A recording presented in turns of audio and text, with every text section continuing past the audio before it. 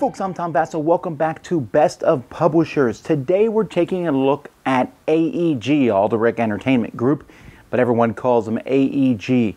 Now, AEG has morphed over the years. Originally, they were much more into, well, L5R, which was a collectible card game, which they have, incidentally, since sold to Fantasy Flight.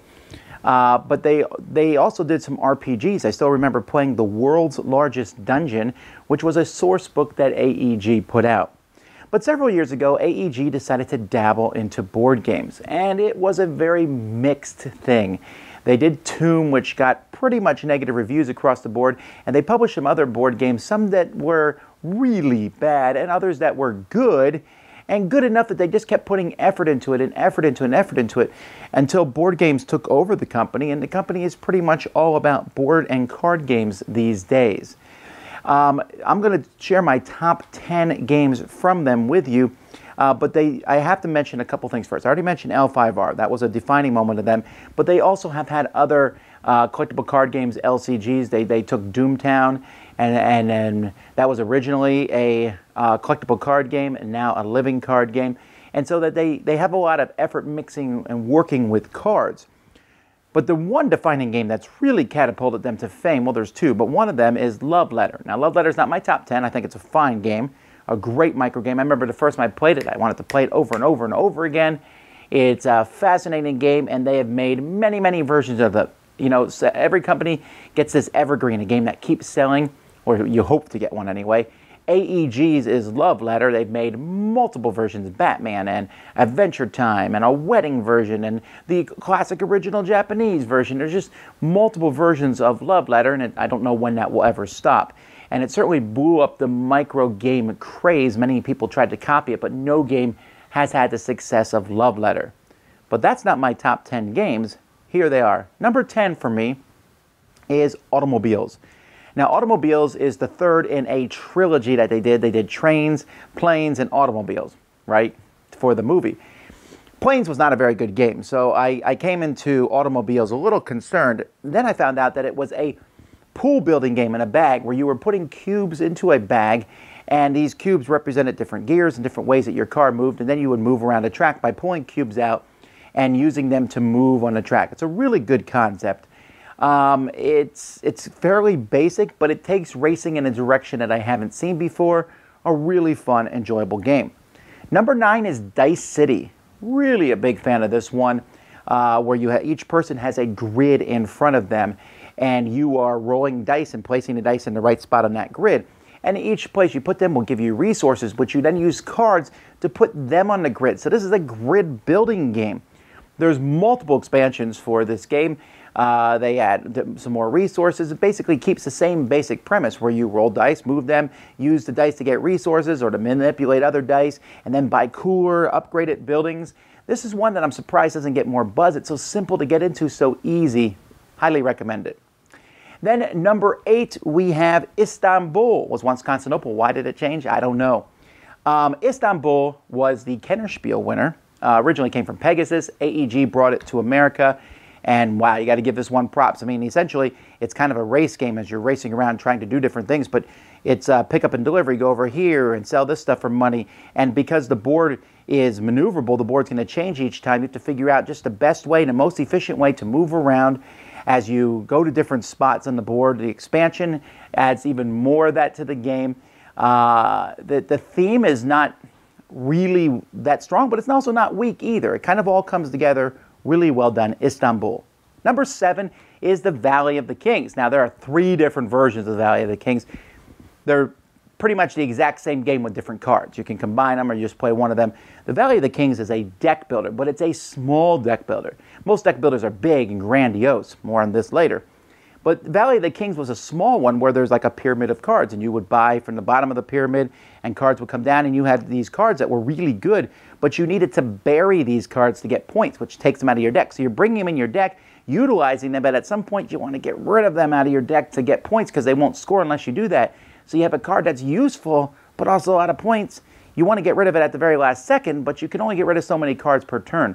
Really works well, especially with three players. Trains. I already mentioned automobiles. Planes ain't going to make this list, but trains is my next one. Trains is a deck building game that is really close to Dominion. It's as if someone played Dominion and said, I know what, let's add a board. And that's really what Trains is. Uh, it's a deck building game where you're building uh, thing, but you're also spreading your roots out on this board. There's multiple boards for Trains.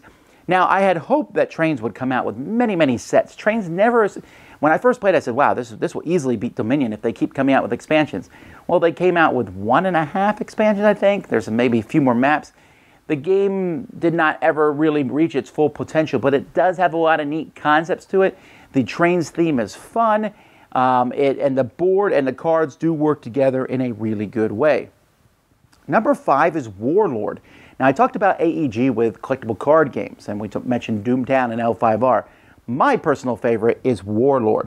Now, Warlord is basically taking the D20 system uh, and bringing it into a card game. Now, this is one that not a lot of people talk about, not a lot of people know about. It's certainly out of print, although if you go to conventions and stuff, you might be able to find starter decks of it for pretty inexpensive price. But I still have a whole uh, box of it. In fact, I, I have it right here. See this? Warlord.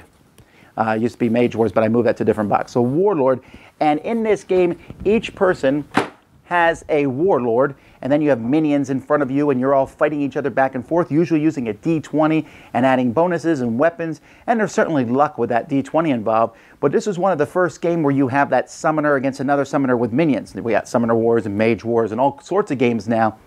Uh, but Warlord was one of the first, and still one that I enjoy quite a bit.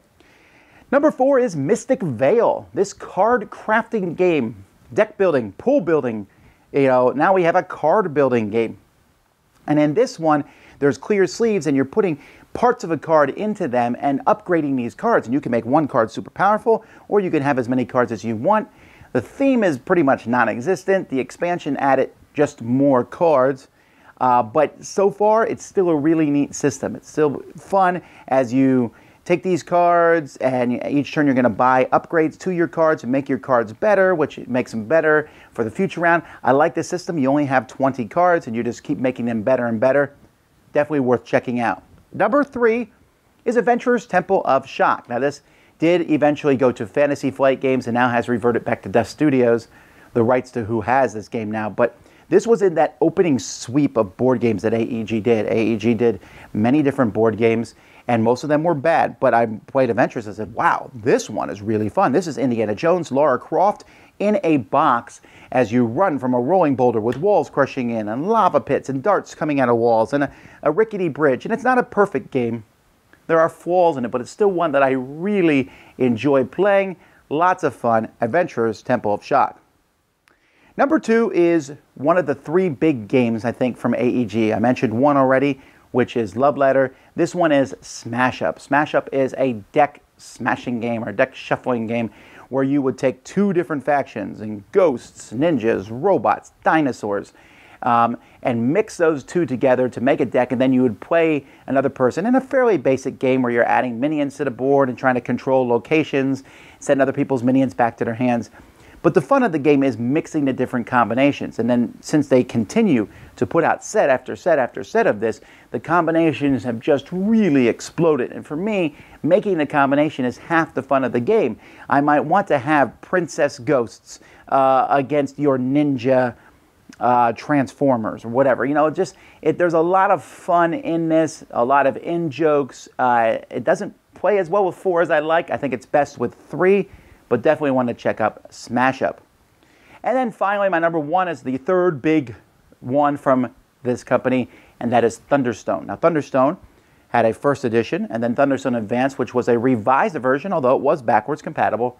And now this year, they're going to be kickstarting and eventually publishing Thunderstone Quest, which is the third edition. Thunderstone was the first major kick, uh, deck builder to come out after Dominion. And I kind of went into it like, ah, we'll see and I played it, and it was a decent game. It added a dungeon theme to the game, and it was fine. But as time went by, I was like, well, I, you know, I, would rather play Dominion, I think. However, Richard Launius showed me an epic variant where you could go through it. It felt much more like a, um, going into a dungeon this way, where you used every card and not just 10 decks of cards. And so much so that when Thunderstone Advance came out, they took this variant, which Richard created and I modified slightly, and put it in the rules, and it's the only way I play anymore, where every weapon and every character is available in the game, and it makes it so much more fun because it doesn't feel so much as a deck builder as in a I'm going to a village and getting weapons and hiring people to go into a dungeon. Lots of fun, definitely one you should check out, Thunderstone. Those are my 10 favorite games from AEG. What are yours? What did I miss? What should I have had on my list? Tell me in the comments below. I'm Tom Vasel, and you've been watching Best of Publishers, AEG. Thanks so much for watching the Dice Tower videos. Find more great videos and reviews, as well as our top rated audio podcast at Dicetower.com. You can also find other great shows at Dicetowernetwork.com. I'm Eric Summerer, and you've been watching The Dice Tower. The Dice Tower is sponsored by Cool Stuff Inc., where you can find great games for great prices. Cool stuff in stock. Check them out at CoolStuffInc.com.